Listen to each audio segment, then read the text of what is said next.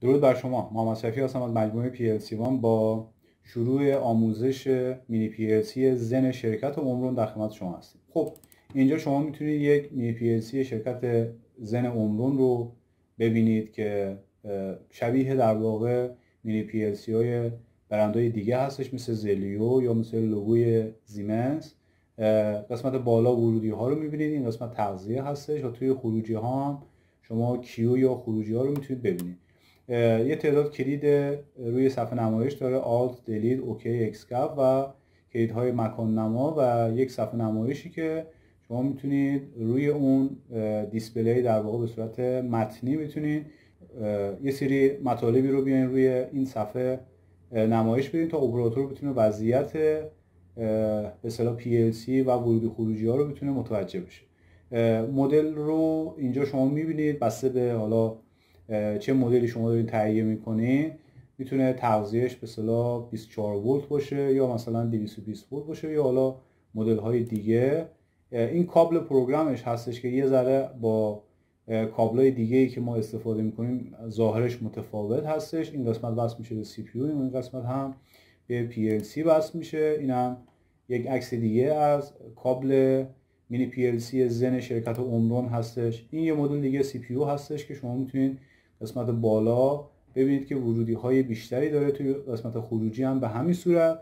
بعضی از خروجی ها اگر دقت بکنید کام مشترک داره که در این قسمت پایین می‌تونید شما اونو مشاهده کنید. قسمتی که اینجا شما می‌بینید باز میشه و مربوط به کابل هستش. ما بیشتر سعی می‌کنیم قسمت بحث نرم افزارش رو خدمت شما توضیح بدیم و به اصطلاح بحث نرم افزاریش رو با نرم افزار زن ساپورت که اگر من اینجا بیام توی قسمت اباوت شما می‌تونید زن ساپورت رو ببینید که ورژنی هم که ما استفاده می‌کنیم اجازه بدین من اینجا این نرم افزار رو براتون باز بکنم. خب یه بار دیگه میام. about ZEN اسم نرم افزار ZEN support software هستش. ورژنی که ما آموزش میدیم 411 هست و در صورتی که دوستان تمایل داشته باشن می‌تونن از سایت PLC1 اونو دانلودش بکنن توی در واقع آدرس هایی که اینجا شما می‌تونید در نظر بگیرین.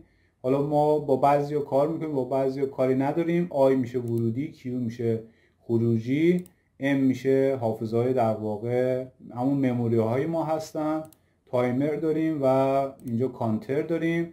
توی قسمت این سبزی که می‌بینیم قسمت خروجی ها هستن که اگر روش double click بکنیم Q رو داریم M رو داریم timer رو داریم کانتر رو داریم و یه گزینه هم اینجا هستش display هستش. یا همون صفحه نمایشی که حالا اگر بخوایم می‌تونیم اینجا بیایم یک مقدار یا یک پارامتر رو بیایم نمایش بدیم. از نظر امکاناتی خب اگر بخوایم مقایسه بکنیم با mini PLC مثل LOGO امکاناتش کمتره.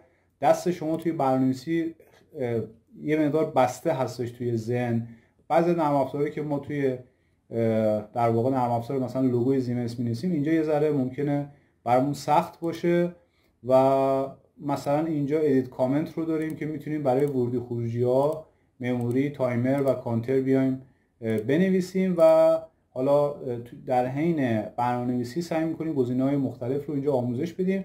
تسلطی که شخصا روی PLC مثل لوگوی زیمنس دارم متاسفانه روی زن ندارم. برای همین ممکنه گاهی اوقات حالا به اصطلاح یه ذره زمان بر باشه برای اینکه یه برنامه یا یک قسمتی رو بخوایم توی فیلم های آموزشی آموزش بدیم یا پیاده سازی بکنیم. سعی می‌کنیم که حالا اگر اشتباهی صورت گرفت اونو سعی می‌کنیم جبران بکنیم. از همینجا از همه دوستان اگر اشتباهی اتفاق افتاد یا حالا راه حلی رو ما گفتیم که مثلا راه حل راحت تری وجود داشته باشه از همینجا از همه دوستان پوزش می‌خوام. سعی می‌کنیم که آموزش رو از جلسه دوم برنامه‌نویسی رو شروع بکنیم و در خدمت شما باشیم. فقط اینجا رو من خدمتتون عرض بکنم که ما با سیمولیشن کار داریم. عرض کردم ما اینجا سخت افزار چون نداریم simulator رو اینجا استفاده می‌کنیم و برنامه هایی که می نویسیم و امکانات نرم افزاری رو با simulation خدمت شما آموزش میدیم.